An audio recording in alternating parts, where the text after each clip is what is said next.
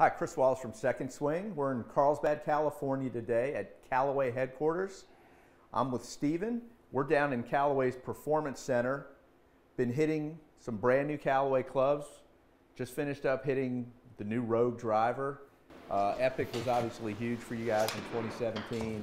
I think Rogue's going to be really good in 2018 for you as well. Yeah, I mean, uh, like we had mentioned earlier, talked about the, the various technologies, the face, jailbreak technology, the carbon composite crown, the higher MOI. Uh, with all those things combined, it sounds like, and it looked like you're hitting pretty good. Yeah, you know, I really liked it. Uh, I played an Epic Sub Zero for the majority of the 2017 season, so I was sort of focused on the Rogue Sub Zero. Right. Uh, for me, as a sort of lower launch player with the heavier weight in the back, that's the setting that works best for me. But I really came away impressed. First of all, you know, the footprint, as you mentioned, is a little bit larger to improve MOI. And I could feel and saw better results on some of the shots I hit a little bit from the heel, or for me, usually kind of the toe if I miss. Mm-hmm. But the club doesn't look big. It doesn't look oversized. It, it's got a great shape.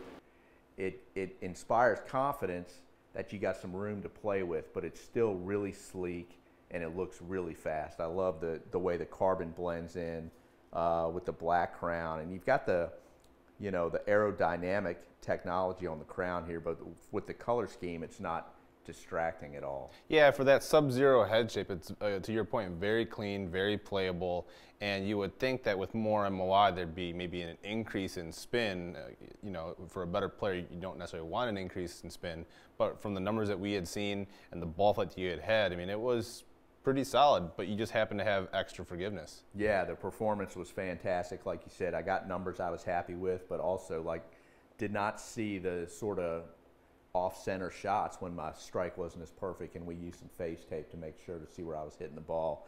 The other thing I want to point out that that really stood out to me was the sound.